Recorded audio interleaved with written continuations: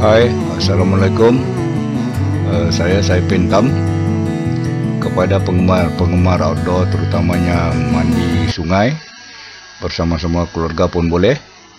Ini ada satu lokasi uh, Terletak di kampung Nawoi Kiulu dalam daerah kecil Tamparuli uh, Sungai ini diselia oleh satu uh, badan.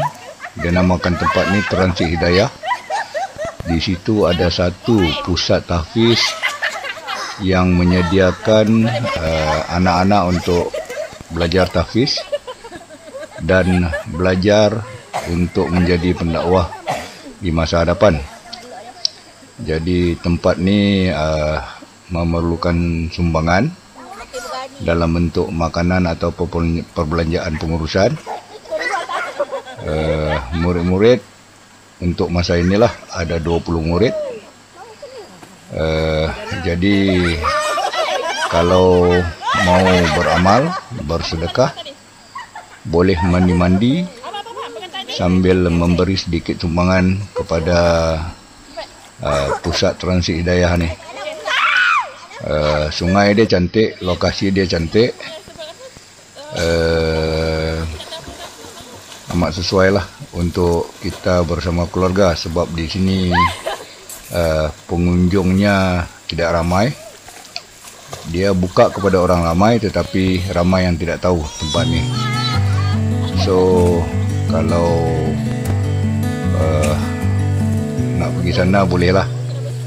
Uh, untuk keterangan lanjut boleh di penghujung uh, video ni.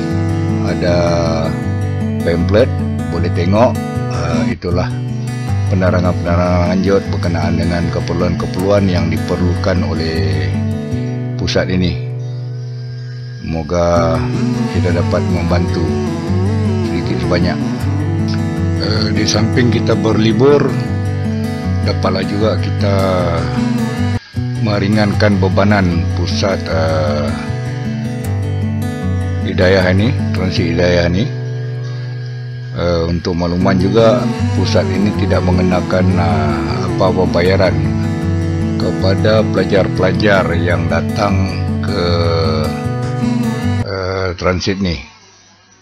Anak-anak yang ada di sini datangnya daripada seluruh Sabah.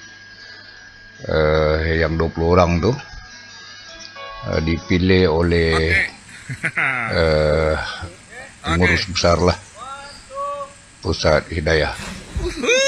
So terima kasih di atas uh, apa kesudian menonton video ni.